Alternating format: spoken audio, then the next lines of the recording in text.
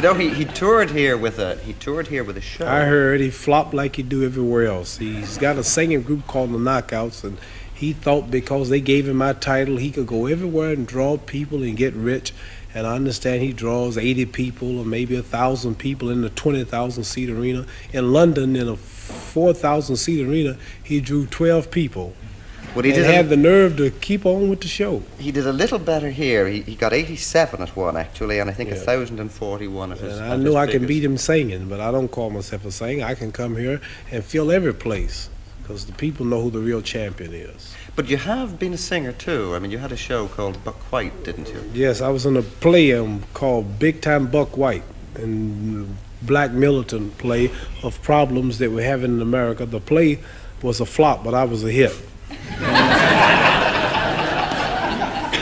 You, you I s- lasted. The play lasted six days, but the worst critics, uh, my part was a hit. I want to get that straight.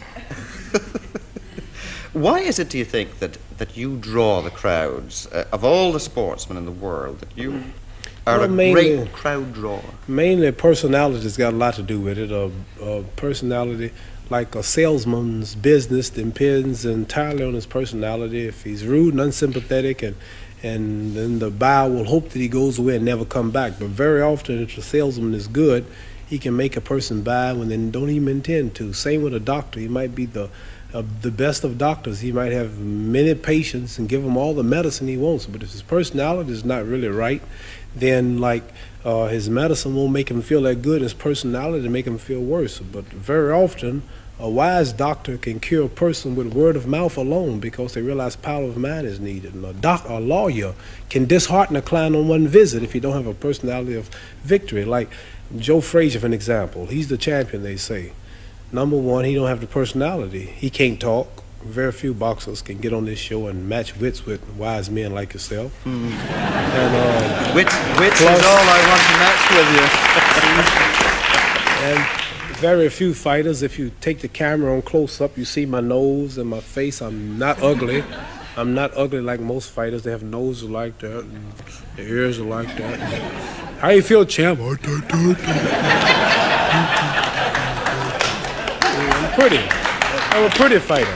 And like I can, you know, I have a personality. I know how to talk to the wine heads. I have a talk for the uh, your great Mr. Lynch here in the Parliament House, and I knew how to talk to to um, men like you with less intelligence than myself. And no, I was only joking. Just listen to the people Joke laugh. away. Just listen to the people laugh. Just listen to them laugh. Very few comedians can do this, and that's their job.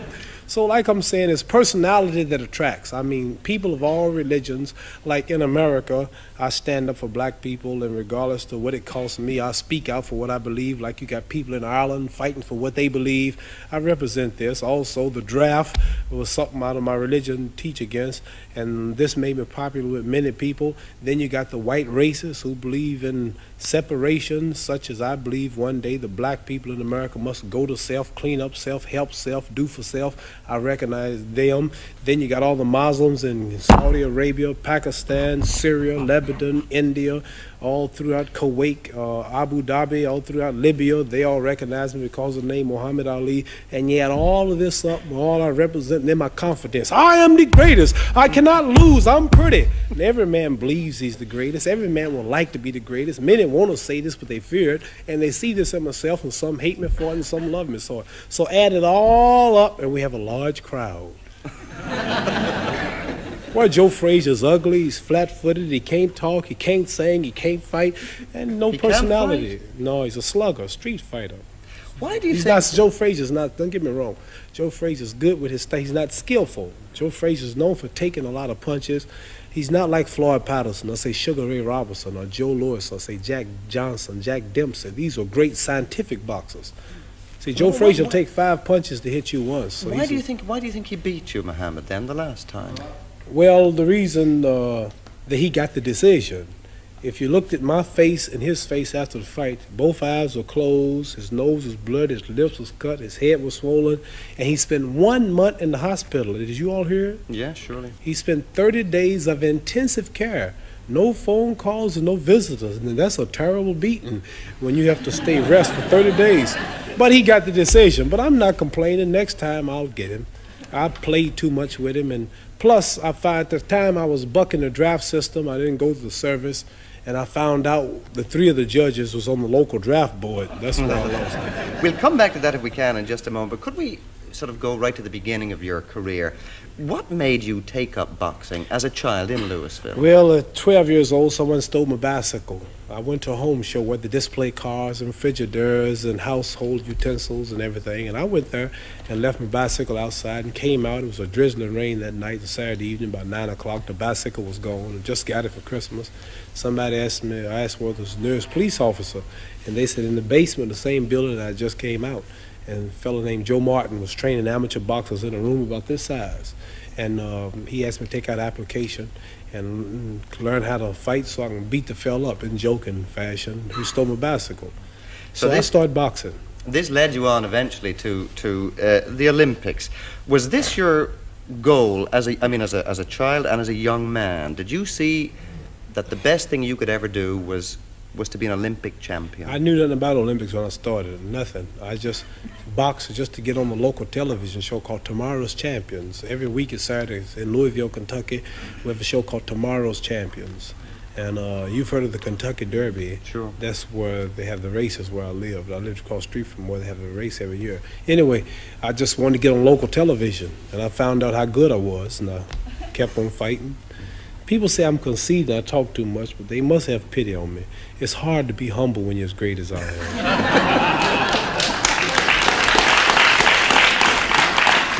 and I won the Golden Gloves, the National AAU, and the Olympics. And then after the Olympics, I had all the gold medals, but no money.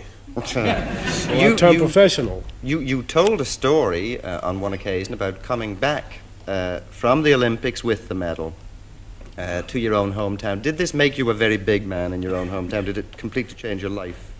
Well, you know, like, uh, made me popular for a few days, but I wanted to do something good with it. So I went downtown. At the time, black people was marching to eat in the white restaurants, and they wanted rights to go where they wanted to. And just, so I said, I'll take this medal and I'll go downtown and I'll sit down in a restaurant. I got them on the spot now, and then I'll order something to eat. And I went down and I had my medal on, and the lady was looking, and I said, I'd like a cheeseburger. She said, We don't serve Negroes. I said, I don't eat them either. Just give me a cheeseburger.